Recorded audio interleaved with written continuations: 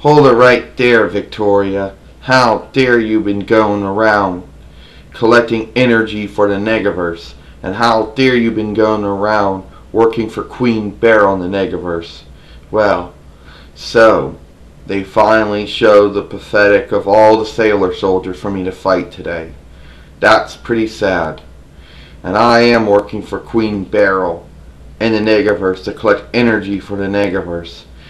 You don't want to mess with me because I am a two-time WWE two-time WWE Women's Heavyweight Champion and a six-time TNA Knockouts Heavyweight Champion. There's nothing you can do. Call me Victoria, call me Tara, whatever you want to call me. I'm still going to kick your ass.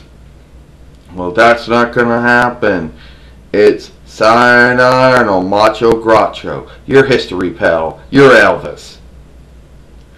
You be dead meat deep six. Groundhogs be bringing your mail. Because I'm the soldier of nobility and justice, Sailor Earth. In the name of the Earth, I will punish you. Know what I mean? Yeah, punish this. Pull up. Well, it doesn't take much to defeat Sailor Earth. Unlike all the other sailor soldiers I fought, he must be the pushover of them.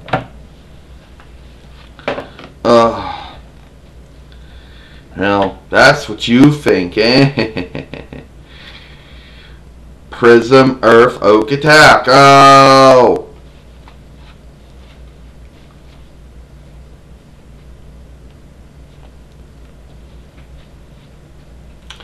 You're gonna pay for this, Sailor Earth. I'll be back. You ain't seen the last of Queen Beryl in the Negaverse. Queen Beryl in the Negaverse will prevail.